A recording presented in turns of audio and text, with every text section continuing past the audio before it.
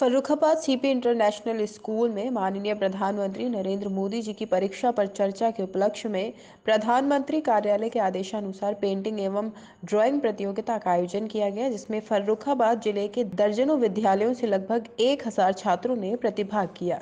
प्रतियोगिता के दौरान सांस्कृतिक कार्यक्रमों का आयोजन भी किया गया।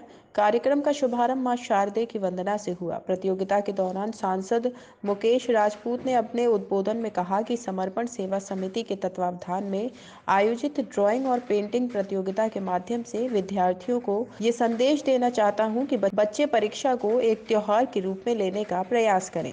संजय कुमार सिंह, जिलाधिकारी फर्रुखाबाद ने कहा कि प्रतियोगिता के माध्यम से विद्यार्थियों का शैक्षिक एवं सर्वांगीण विकास में सहायता व निर्माण कर रहे हैं। विद्यार्थियों में रचनात्मक रुझान बढ़ता है।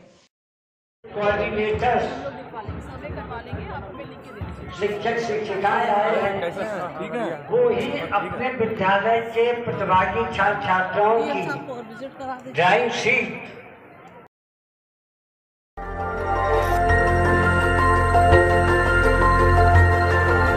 देखते रहिए डीवी भारती समाचार नज़र हर खबर पर।